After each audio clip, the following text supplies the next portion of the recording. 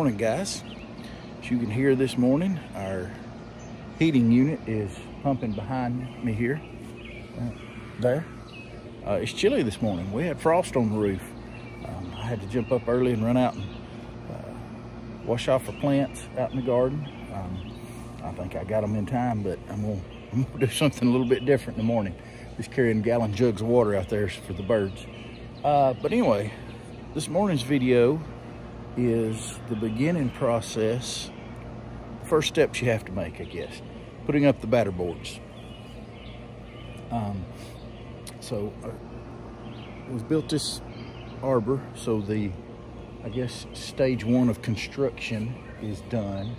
We still have to do, uh, have to seal it, have to take the braces down up back this way. Take the braces down after uh, the Sakrete sets, sets up good.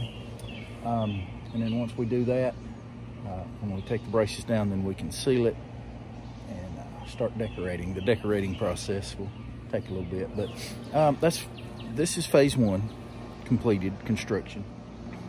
I've got other things I'm going to do to it, but it's going to have to wait. So this is what we're what we're going with. All right, guys, hope you're doing well. I'm gonna get back in where it's warm, drink some coffee, and uh, try to get this video done. Hope you guys are doing well. See ya.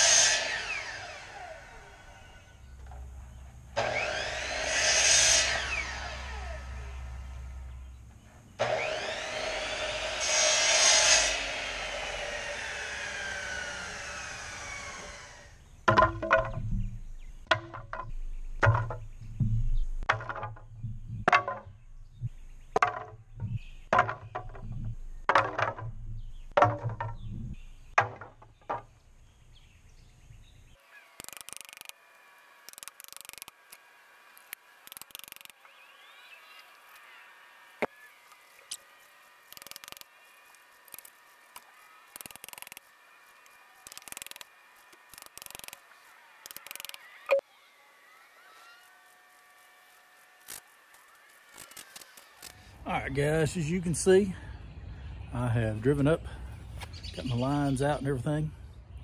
This is for um, arbor that I'm building over the fire pit here. Got the batter boards up. I've been using the transit um, to make my batter boards level. Um, I want to show you this little trick. Okay, so I'm going in, I'm going to link a video, I think, in here that you can watch. It's a real quick little minute and a half video uh, by Lowe's, actually, about batter boards. And it's a whole lot easier than I can explain it, just to be honest with you. But I want to show you this. We're trying to get these square, okay? So right here is going to be the outside corner of my, uh, 4 by 4 post, okay? So I measured from here out to here, three feet, okay? Then I come up the other side and I measure from here out to here, which is four feet. Now, if it's square, it'll be five feet. That's what they call the three, four, five rule, or some people call it the, the five, four, three rule.